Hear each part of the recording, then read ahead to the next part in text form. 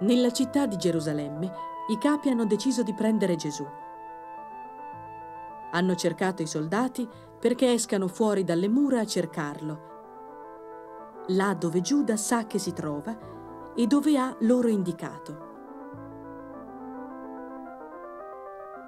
Vanno i soldati con le fiaccole accese per cercare nella notte e con bastoni e funi corrono per arrestare Gesù e portarlo ai capi che lo aspettano in città ben legato.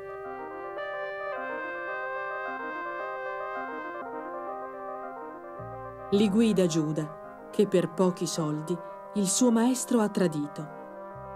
E sa dove andava con lui di notte per pregare e dove tanti bei segreti gli aveva confidato. Gesù vede le fiamme e sente le grida dei soldati.